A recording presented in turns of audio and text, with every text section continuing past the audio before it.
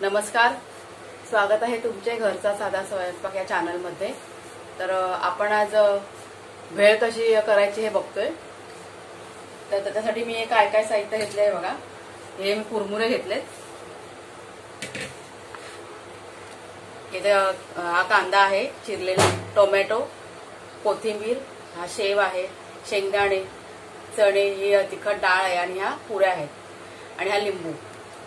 तर वेळेसाठी आपल्याला चटणी लागते. तर चटणी जी मिळते ती कशी करायची ती हे बघा. इथे मी हे चणे घेतलेत एक मोठा चमचा. आणि हे सहा सात मिरच्या घेतल्यात.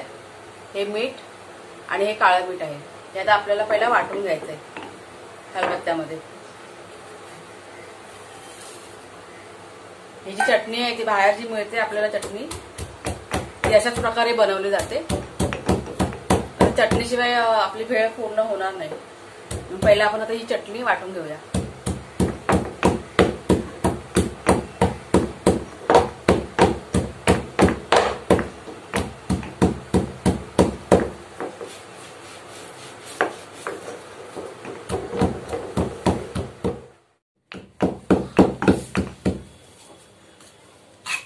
तर ही चटणी आता आपल्याला ना जास्त बारीक नाही करायचे असे जाडसरच ठेवायचे.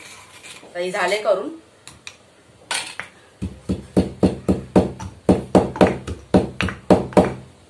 हे बघा झाले.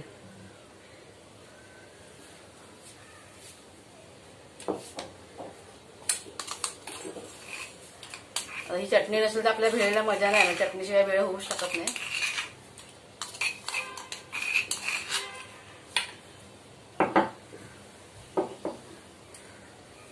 म्हणजे आपली चटणी याची जाळत ठेवायची जास्त बारीक नाही करायची.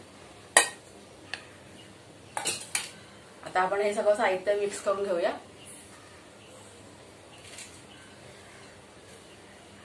टोमॅटो कांदा कोथिंबीर हे शेंगदाणे या पुऱ्या अशा तळून टाकायच्या.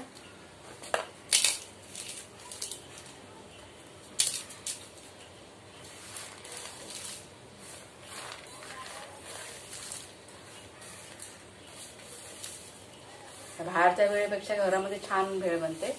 घरातच बनवून खायचे कधी पण. आता ही आपण चटणी टाकूया आतमध्ये. तुम्ही किती तिखट खाता त्याप्रमाणे आपण चटणी टाकायची. जशी चु- चुरून हे- म्हणजे अशी हे करून फोडून टाका.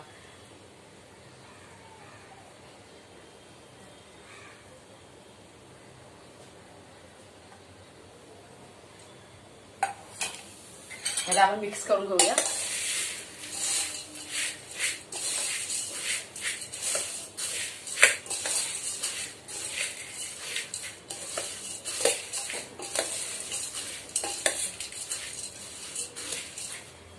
त्यात लिंबू टाकायचा आपल्याला. तुम्हाला जर का माझा व्हिडिओ आवडत असेल तर चॅनलला माझ्या सबस्क्राईब करा. बेल आयकन बटन दाबा शेअर करा. कमेंट करून सांगा. आता लिंबू तुम्हाला किती आंबट पाहिजे त्याप्रमाणे काढायचं टाकायचं आहे इथे मी दोन चमचे लिंबाचा रस टाकते. आणि कमी वाटलं तर आपण वरून टाकू शकतो.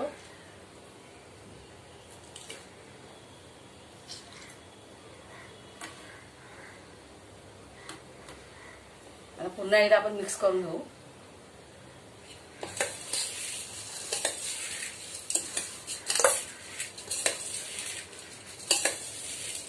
चटणी म्हणजे जी आहे जी बाहेर जी म्हणजे बाहेर जे फेरीवाले विकतात मिळतात तशी त्याच पद्धतीची ही चटणी केलेली आहे मी.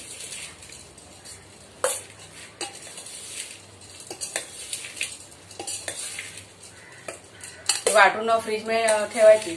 जेव्हा आपल्याला कधी भेळ बनवायची असेल तेव्हा पटकन आपण भेळ बनवू शकतो. आता ही भेळ आपली झाले.